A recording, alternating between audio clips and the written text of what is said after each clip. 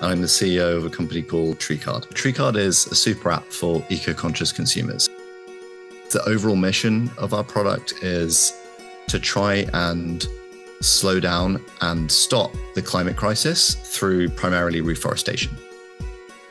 Dane's great because he's kind of got this combination of listening and being proactive.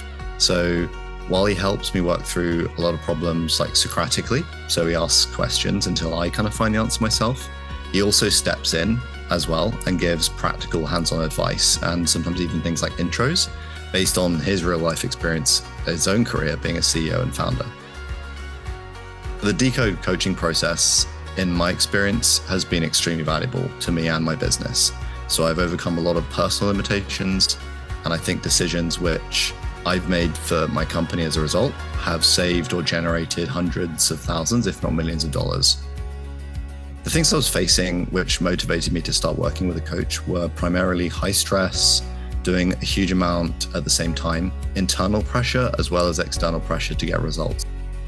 One of the most impactful aspects of coaching with Dane has been there's a bunch of behavior patterns and ways of thinking which I didn't even realize I was doing until I spoke with Dane. So things like high paranoia or tendency towards extreme loss aversion, etc.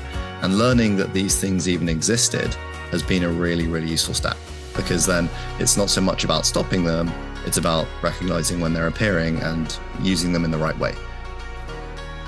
I guess one of the most important things that I found kind of growing as a leader through coaching with Dane and Decode has primarily been coming to terms with which leadership parts I'm good at and which bits I'm not so good at.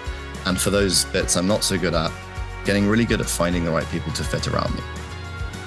Working with Dane has impacted me emotionally. So, for a start, I'm more of a witness to my emotions rather than simply a passenger. So, I'm not always in control of everything, but I feel I'm more able to recognize, you know, hey, I'm doing this thing again when I get super angry. And so I'm able to react accordingly. It's actually kind of crazy that coaching isn't just mandatory for founders. It's been such a big difference to me. Decode coaching is a really great way to level yourself up and manage the stress of running a business. Dane Holewinski is able to offer the perfect balance between listening and proactive practical advice.